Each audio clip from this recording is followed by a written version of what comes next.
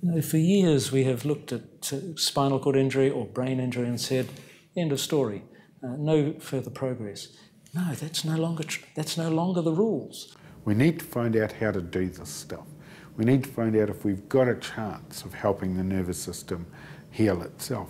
I'm one of over 5,000 New Zealanders with a spinal cord injury, one of the highest rates per capita in the Western world.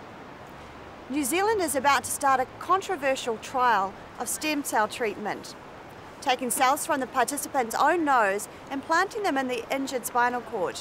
The rules are changing and they're going to be rewritten in the next 10 years. I'm willing to be one of the first human guinea pigs out there.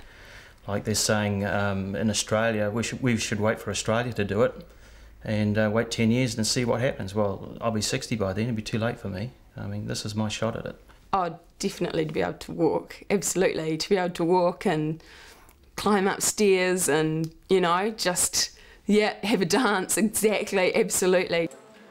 That's the dream. In Portugal and now New Zealand, scientists are taking the first steps towards making it a reality. A Portugal clinic offers stem cell transplantation as a treatment and claims some success. New Zealand is about to step onto the world stage with the first clinical trial of this procedure. Incredibly, the campaign all started with a Matamata grandmother, Nola Vallis. For 25 years, Nola has tenaciously raised funds and rallied the troops from her living room. So, Nola, tell me about um, why did you start up the Spinal Cord Society?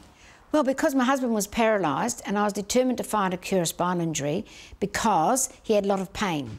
And I thought, right, I'll see if I can find a cure for spinal injury. And it's taken 25 years, but we've now got through ethics and we're ready to do some trials. Big call for a Matamata grandmother, but Nola's been the driving force behind getting research in New Zealand off the drawing board and into the lab. Money the Spinal Trust raised established a centre for research in Otago. Now Nola intends to find another 2 million, the cost of the two-year stem cell trial. My aim is to get this in the next two or three years into the medical world for everybody, so that if you broke your back again, or if you're an able-bodied person broke your back, you'd go into hospital and you'd be drip fed some stem cells of your own stem cells, and within a few months you'd be back in the workforce, the same as a broken arm or a broken leg. Not quite that simple, but you have to admire her enthusiasm. This trial has been rejected twice by the Ethics Committee. I really feel the problem was that the Ethics Board straight away thought, because the majority of them are lay people, I think they thought, oh, well, this is fetal cells, embryonic cells.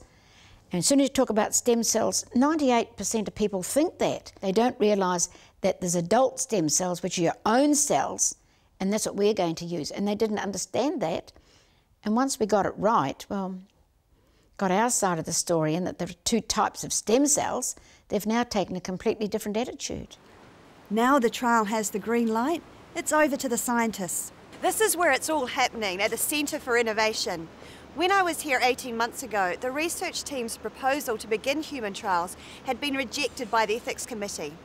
Now they've got the green light, I'm keen to find out exactly what's involved and how it might affect thousands of Kiwis like me.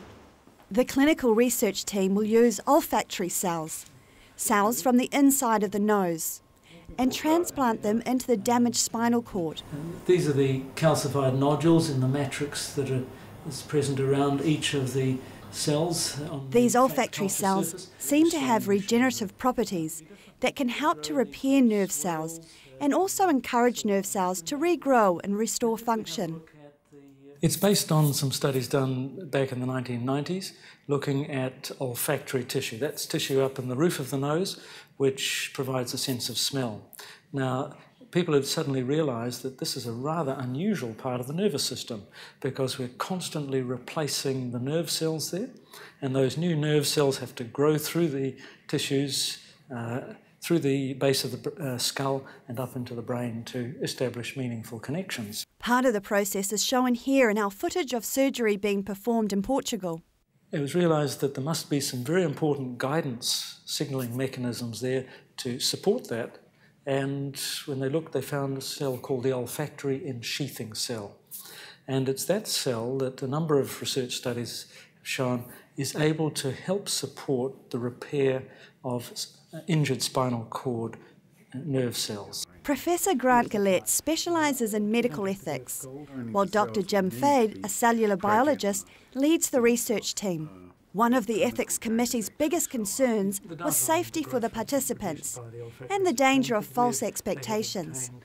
Those two things have been addressed, I think, in two ways. First, by getting more safety evidence and responding to the specific points, for instance, about neuropathic pain that were raised in relation to safety. And secondly, making sure that uh, the information given to participants was uh, realistic in terms of the state of the art at the moment.